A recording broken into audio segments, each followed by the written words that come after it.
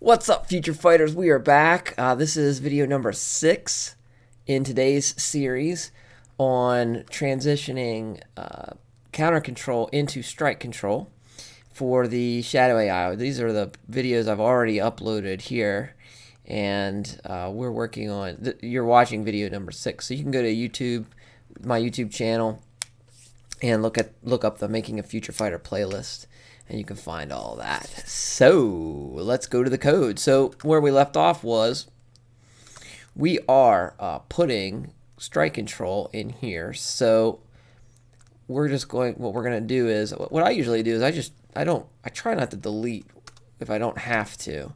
I just try to comment out and we're going to, we're going to call strike control. Uh, this is, that's the call for strike control here. Um, and you can go back and watch the previous videos uh, in the playlist on strike control. We have I have all the details on how that works there. Oh, sorry. Ah. Um, so let's see here.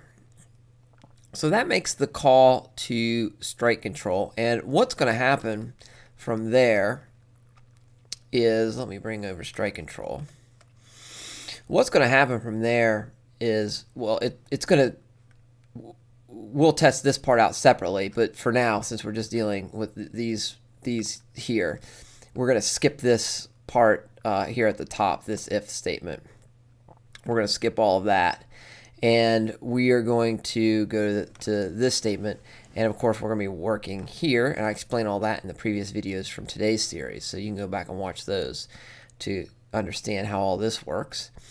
Then what we're going to do is in this particular case uh, transition type here is zero. So that would be here. We're going to pass to here. And we're going to block will be held down from defense. So we're going to set it to zero. And then we're going to choose one of these moves. Now um,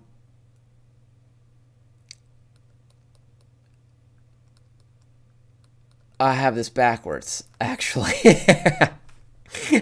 I just realized. So,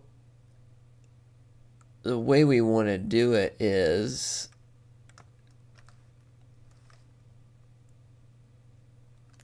let's see here.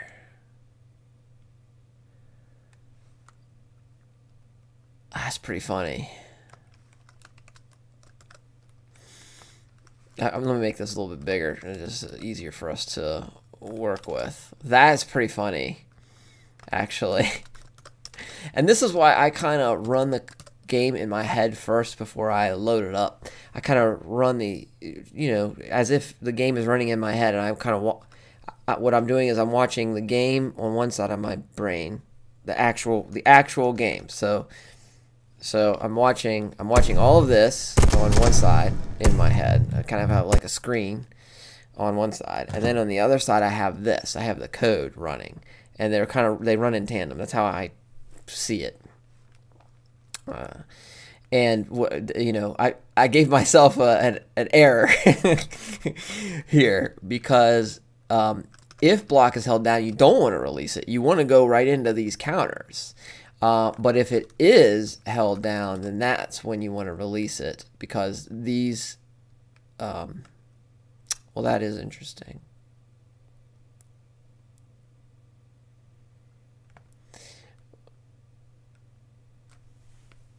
Because 0 and 32 will work here, but you don't need a release block for them. Um, so what you can what we could do is there's a couple different ways to do this.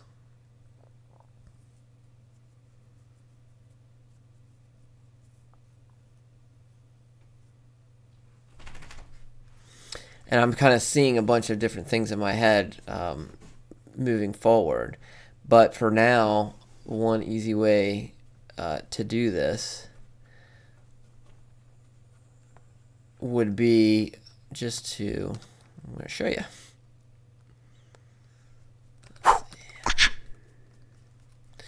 So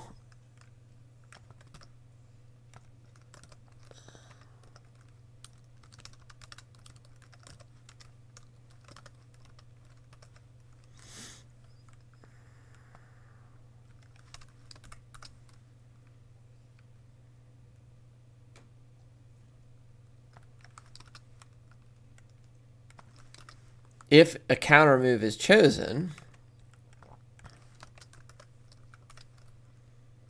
then you can just release block.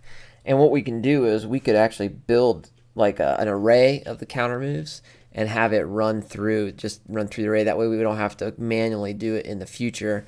This will kind of get done what we need to get done today to test the concept though. So before we go and put in all that work, let's just make sure, uh, you know, this is going to function the way we the way we think uh, it will. And who knows, we might be able to. Yeah, let's let's find out. Let's find out first. So it's uh, kind of an escape sequence. So going through this again, if block is held down, you go right into your counters. Otherwise, you're gonna pick pick another move. If you happen to pick, if if you if um, let's see here. So you'd need another check.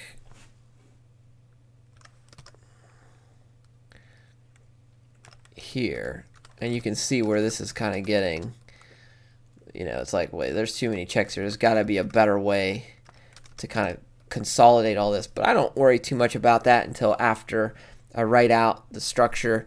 And if it works in game, then we know the concept works. Then we can we can go back and um, and and really make all this code nice and tight and work together much better. Because obviously there's too many checks, right? So we're missing something. We don't need to check this twice. Uh, there's there's a way we can reorganize this code to check it once, and then you know make these decisions. But um, for now, let's just let's just kind of go through this. So uh, so we're zero block is held down. We we check that initially. Um, because we just want him to do just those moves, isolated. But if block isn't held down, you can choose from any of these moves another option would be to take counters out, but um, if you take counter out, you don't need any of this. Um, I don't necessarily want to do that though. So, um, so you choose one of those, and if you didn't pick a counter,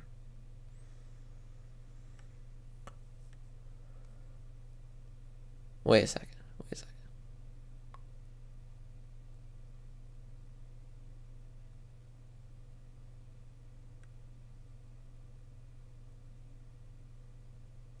Hold on a second. This is hold on a second. This is actually pretty good. Let's let's let's let's we're gonna turn the AI off real quick. I think we're we may have made it even easier. Okay.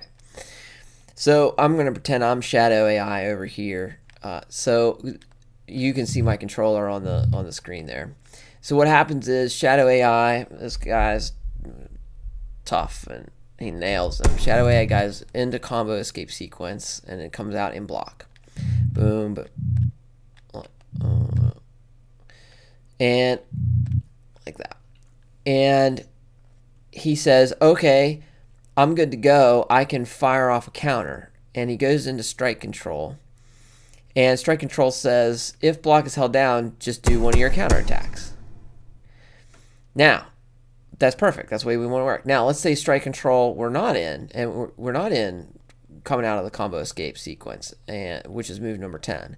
And we're coming in here and we're like, we just want to attack. And it comes up, case zero comes up, and says, I want to just do, you know, this short range combo like this. And it would go into the code, case zero, it would say block isn't held down, and then it could pick from these, so you don't even need to release block. I I uh, don't know where I had this come from.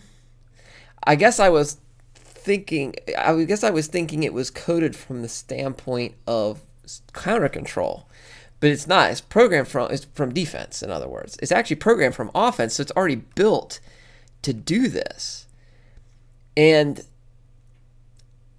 you know, there's there's no there actually you don't need you don't need this release at all. How about that? Look at this. How's this for simplification? Watch this.